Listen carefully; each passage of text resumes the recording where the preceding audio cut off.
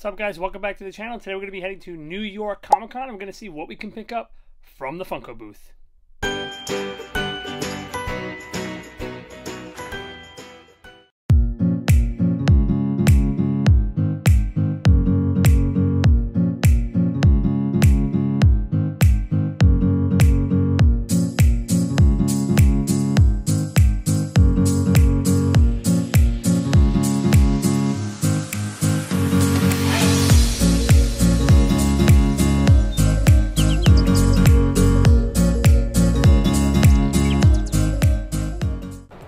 All right, guys, we made it. We're finally here at New York Comic Con, and we're going to be headed right over to the Funko booth. You see Franny and Proto up top in the tower, Freddy waving us on in, and here's what the booth looks like before the madness and after the madness. All these people waiting to get inside the booth.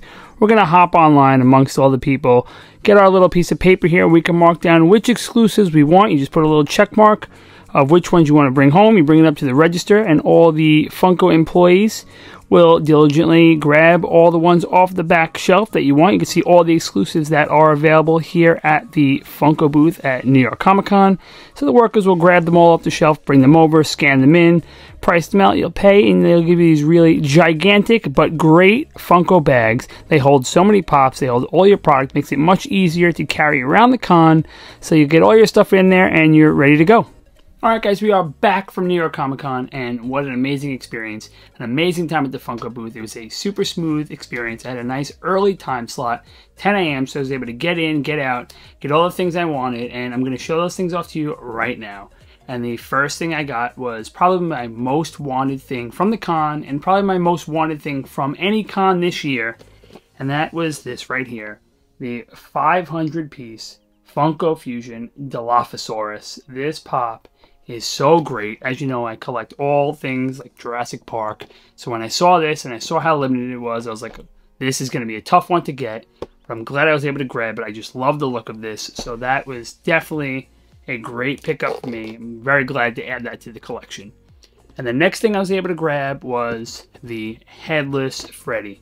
This pop is amazing as well. They did such a great design on this mold.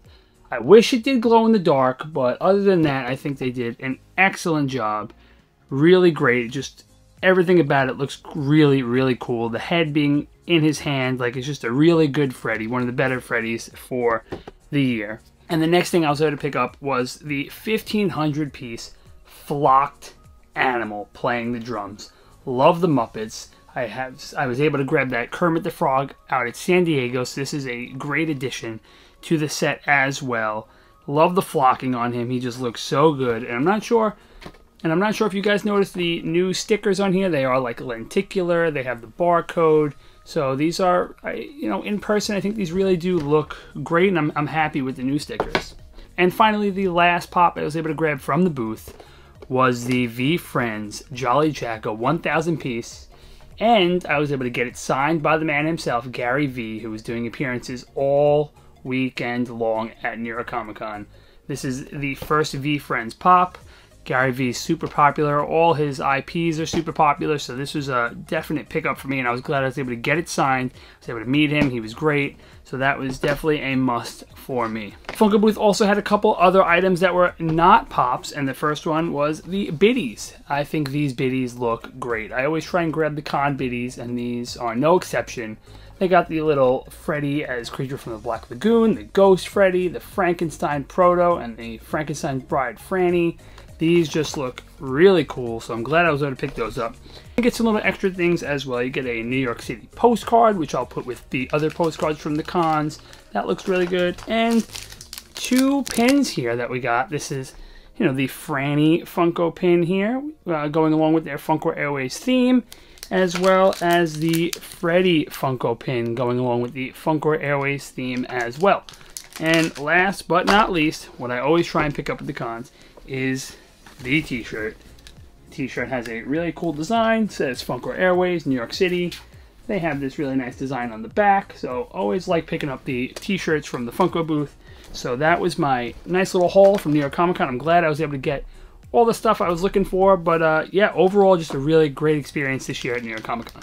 And I almost forgot one thing. Funko always does a really great poster they give away for free at their booth when you buy something, and this year was no exception, as they had a great New York themed poster with Franny, Freddy, and Proto in their Funko Airways attire. So this was also a great addition to the collection as well.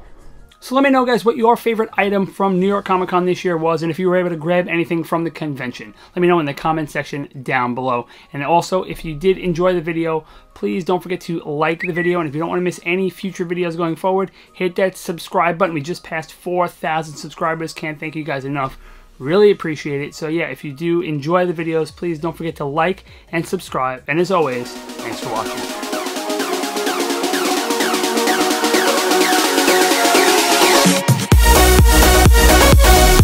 Yeah.